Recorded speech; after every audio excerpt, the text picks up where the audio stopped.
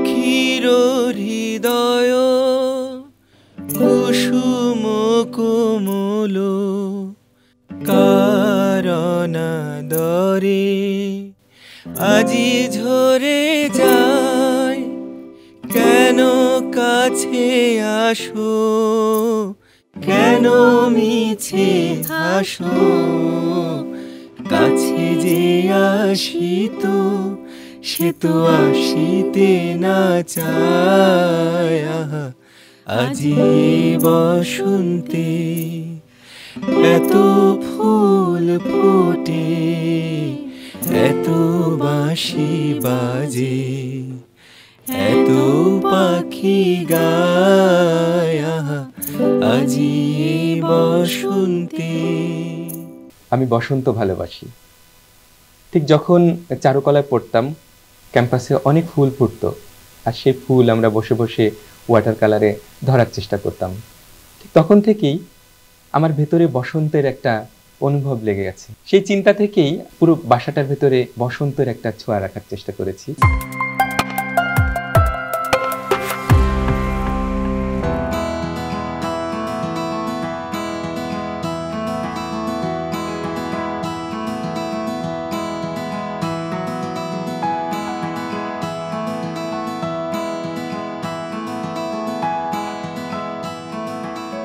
ঢাকা শহরের এই যে অসহ্য জ্যাম, অনেক কোলাহল পলিউশন সব কিছু ফেলে আমরা যখন ঘরে ঢুকবো, ঘরটাতে ঢুকলেই যেন সাথে সাথে মনটা ভরে যায়। চারপাশের রং, চারপাশে সাজানো সব কিছু যেন খুব আইসুদিং হয় এবং খুব প্রশান্তিদায়ক হয়।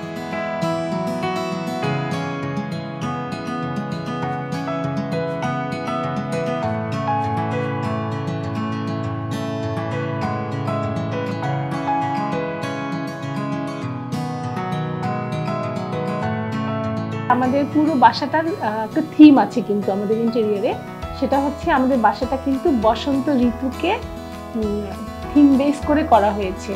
যদিও বেসটা হচ্ছে হোয়াইট পুরো বাসাটা হোয়াইট কিন্তু আমাদের থিম হচ্ছে বসন্ত। মানে সারা বছর আমাদের বাসায় বসন্ত থাকবে। আমরা আমাদের ডাইনিং এর দেয়ালটাতে একটা ফ্লাওয়ার কম্পোজিশন করেছি।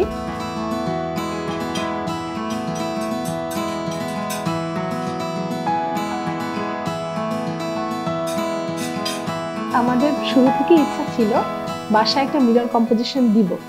কিন্তু কোথায় দিব সেটা তখনও সেট করিনি। যখন আমরা বাসাটা দেখতে এলাম, আমাদের কাছে মনে হলো যে এই ডাইনিং স্পেসটা যতটা লম্বা, প্রশস্ত ঠিক ততটা না পাশে জায়গাটা কম। তখন আমাদের মাথায় চট করে এলো যে মিরর কম্পোজিশনটা যদি আমরা ডাইনিং স্পেসের একটা দেয়ালে দেই, তাহলে আমাদের রুমটা বেশ প্রশস্ত দেখাবে এবং আমরা সেই ফলটা পেয়েছি।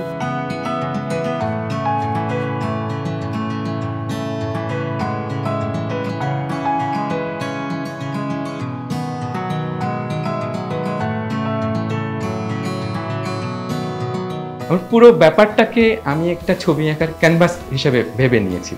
কারণ আসলে তো এটা আর্টওয়ার্ক এবং ছবিও আর্টওয়ার্ক প্রত্যেকটা ফ্রেমে প্রত্যেকটা কর্নারে প্রত্যেকটা কালারে আমাদেরকে ভাবতে হয়েছে যে একটার সাথে আরেকটা যেন কথা বলে। একটার সাথে আরেকটা যেন মুখ গোমরা করে না থাকে।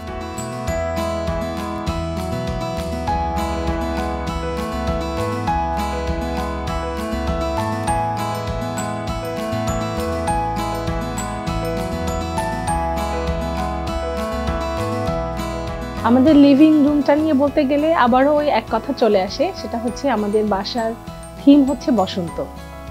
তো বসন্তকে মাথায় রেখে প্রথমে আমি বলব আমার ফ্রন্টের যে দেয়ালটা মানে আমি যে সোফাতে বসে আছি, সোফার সামনে যে দেয়ালটা, সেখানে দেখবেন যে একটা বেশ বড় করে ফ্লাওয়ার কম্পোজিশন করা আছে। এটা বেসিক্যালি একটা স্কাল্পচার বলতে পারেন হোয়াইট সিমেন্টের। তো এটাও কিন্তু বসন্ত থিম থেকেই করা হয়েছে।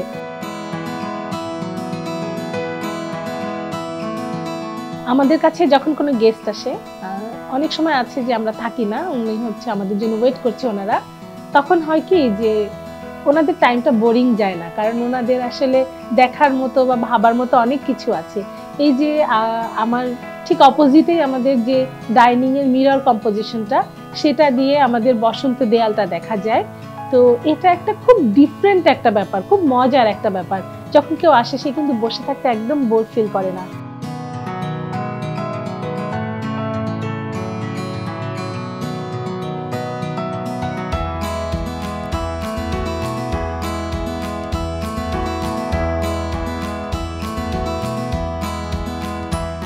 আমি খুব বই পড়তে পছন্দ করি। অ্যাকোরিয়ামটার পাশেই দেখবেন যে আমাদের শেলফ আছে। ওখানে আমি দিন শেষে, সমস্ত কাজ শেষে যখন বসে, মাথার উপর ছোট একটা বাতি জ্বালিয়ে আমি যখন আমার পছন্দের বইটা পড়ি, পাশে মাছগুলো খেলা করে, একটা পানির কুলকুল শব্দ সব কিছু মিলে মনে হয় কি আমি একটা খুব প্রশান্তির জায়গাতে আছি। চারপাশটা সাদা, তার মাঝখানে আমি একটা মানে একটা জঙ্গলে বসে আছি। আমার কাছে এরকম একটা ফিল হয়। লাইটটা মূলত আসে সাবজেক্টের প্রয়োজনে। যে আমি এখানে যে অবজেক্টগুলো রেখেছি, যে আর্টওয়ার্কগুলো রেখেছি, সেটা যেন পুরোপুরি এক্সপ্লোর করে। আমি যদি লাইটটা প্রপারলি না করতে পারি এখানে, তাহলে দেখা যাবে এই যে আমার সুন্দর জিনিসটা, আমার শৈল্পিক জিনিসটা ঠিক ফুটছে না এখানে। ঠিক সেইটা মাথায় রেখে এবং লাইটটা কোন অ্যাঙ্গেলে দিলে তার শ্যাডোটা কেমন তৈরি হবে, সে ব্যাপারটা আমাদের মাথায় রাখতে হয়েছে।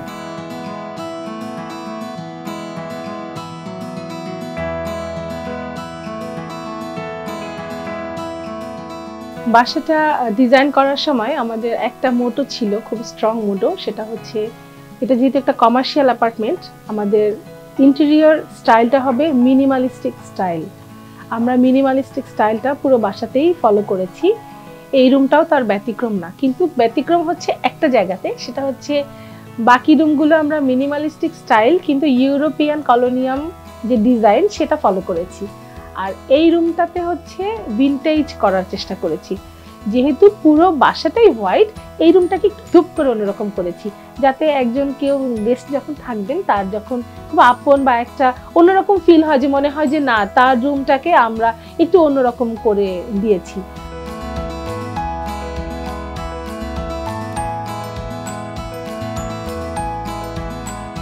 বাসাটার সবচাইতে ছোট রুম আমি বলব আমাদের মাস্টার বেডরুম কিন্তু ওই রুমটাই আমার কাছে সবচেয়ে বেশি পছন্দের ছিল। কারণ ওখানে দুটো বড় বড় উইন্ডো আছে। রুমের সবচেয়ে সুন্দর যে ব্যাপারটা, আমার জানালার পাশে একটা ছোট্ট বাগান করার চেষ্টা করেছি। যাতে যখন আমি জানালার পর্দাটা সরাই সকালবেলা, তখন যে গাছের পাতাগুলো নড়ে, সূর্যের আলো মানে সব কিছু মিলে আমার কাছে মনে হয় আমি মাটির কাছাকাছি আছি, আমি নেচারের কাছাকাছি আছি।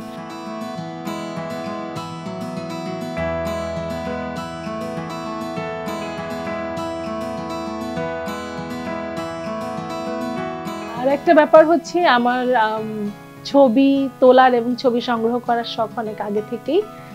তো আমি যখন বললাম যে আমার একটা মেমোরি ওয়াল হবে, তখন আমার হাজবেন্ড বলল যে মেমোরি ওয়ালটা একটু ডিফারেন্ট করি, আবার কোনো দেয়ালের জায়গা নষ্ট না করি। ওই যে আমরা, সবসময় আমাদের একটাই চাওয়া যে, যতটা পারি আমরা জায়গা ছেড়ে দিব, তাতে হবে কি আমাদের স্পেসটা নষ্ট হবে না, আমাদের ভালো লাগাটা থাকবে। ঠিক সেই থিম থেকেই আমাদের রুমে একটা দেয়ালে একটা অ্যালবাম করা হয়েছে।